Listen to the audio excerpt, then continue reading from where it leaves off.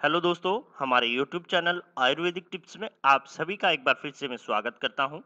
दोस्तों, आज की इस वीडियो में मैं आपको दमा के रोग से छुटकारा पाने के लिए एक बहुत ही सरल व अचूक आयुर्वेदिक उपाय बताने जा रहा हूँ।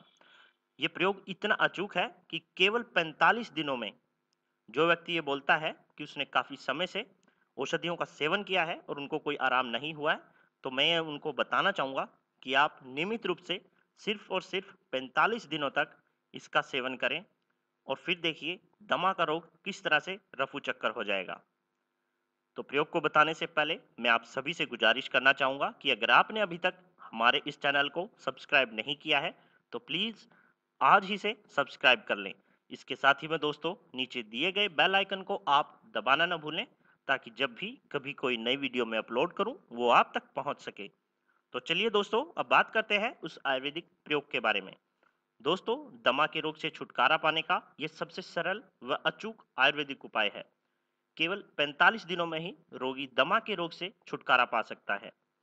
इसका नियमित सेवन करने से दमा का रोग बहुत जल्द रफू चक्कर हो जाएगा, बिल्कुल ही जो रोगी है वो ठीक हो जाएगा।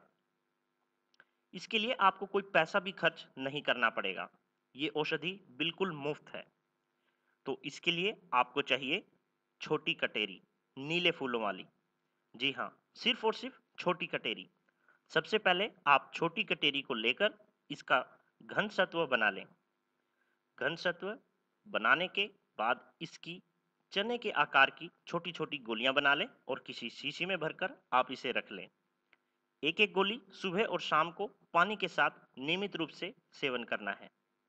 केवल 45 दिनों में ही, मैं दोबारा से बोलना चाहूँगा, सिर्फ़ और सिर्फ़ 45 दिनों में ही दमा का रोग बहुत जल्द ठीक हो जाएगा।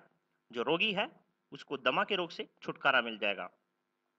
जो व्यक्ति काफ़ी लंबे समय से दमा के रोग से परेशान है, उनको भी इससे पूर्ण रूप से लाभ मिलेगा। तो बहुत ही कारगर, बहुत ही प्रभावशाली है।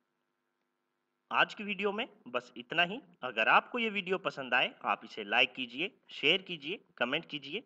फिर मुलाकात होगी आपसे। कुछ अन्य जानकारी के साथ, तब तक के लिए धन्यवाद।